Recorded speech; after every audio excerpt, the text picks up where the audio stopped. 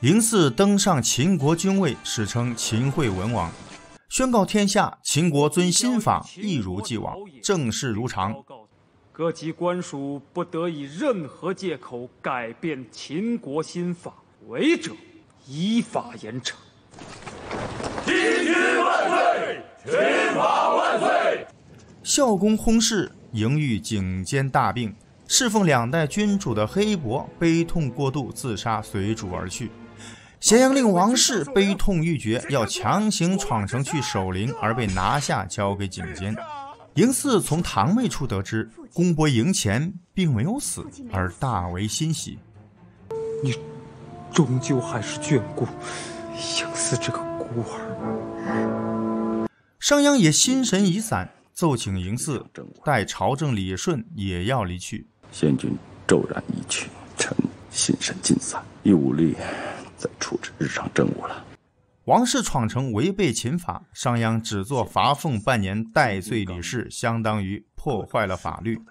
面对这几个一起打拼、肝胆相照的兄弟，商鞅眼含泪水，哽咽地说：“君上没了，谁不悲痛？可此等要害关头，你得打碎了牙往肚子里咽。”我打算退下来，让各路小丑都跳出来，本指望你来披荆斩棘，一招安定大局。可你倒好，迂腐忠君，不理政务，害得护法团队蒙羞。说着，商鞅便晕倒在地。老太师甘龙觉得时机已到，要出山了，组织旧部统一了一下思想：首先要打着护法护国的旗号回到政坛，没有政权，一切都是浮云。第二步。护法护国，铲除酷吏。秦国现在处在十字路口，新君嬴驷却未与商鞅认真谈过一次国事。嬴玉要去找嬴驷，却被商鞅拦下。嬴驷已不是原来的嬴驷，现在极有主见，要奢望跟先君那样肝胆相照是不可能的。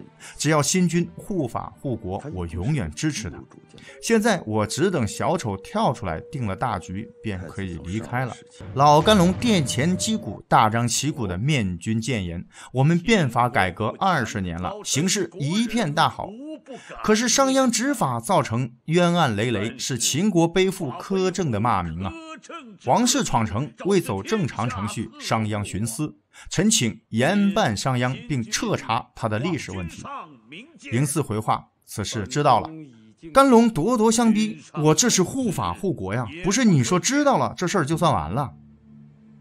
本宫自当以法度处置。嬴驷一面请教景监此事该如何处理，其实早已胸有成竹，把王室交给廷尉府走正常程序，同时也要说商鞅的事儿。